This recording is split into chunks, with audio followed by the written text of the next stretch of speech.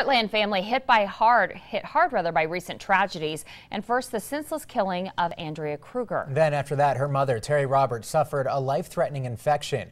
Her story was featured today on The Doctors. Terry lost both arms and both legs to a strep and sepsis infection. Her family had lost hope that she'd ever recover. They even made the decision to pull the plug and let her go. But Terry opened her eyes and let them know she wanted to live.